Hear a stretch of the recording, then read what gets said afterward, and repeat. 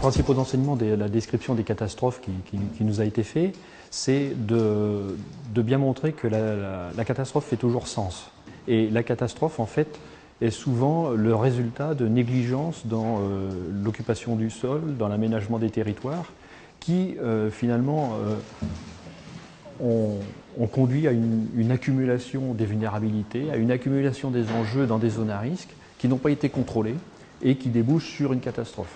Je pense qu'il faut euh, notamment se focaliser sur euh, les vulnérabilités des sociétés euh, sur le long terme, c'est-à-dire les transformations des, sociétés.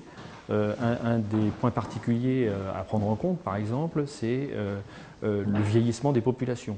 Est-ce qu'on prend le vieillissement des, populations en compte? Un autre aspect, c'est aussi le, le, développement de meilleures représentations des catastrophes. Souvent, on a, on une idée très vague des catastrophes qui peuvent atteindre nos territoires.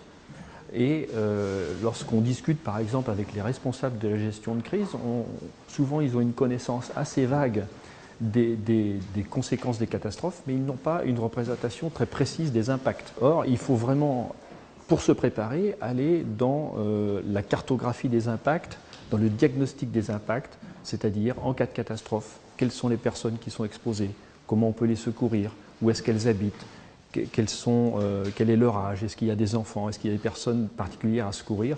Une, autre idée qui, est importante, euh, je pense, c'est qu'il euh, ne, faut pas se focaliser sur les aspects uniquement naturels, notamment pour le changement climatique. Hein, certes, il y a des menaces liées à, à l'évolution des changements naturels dans le, changement climatique, l'augmentation du niveau de la mer, l'accroissement peut-être des tempêtes, mais il y a aussi euh, à prendre en, considération toute euh, l'évolution des vulnérabilités des sociétés, toute l'évolution des vulnérabilités socio-économiques, et ça souvent, ce n'est pas suffisamment pris en compte.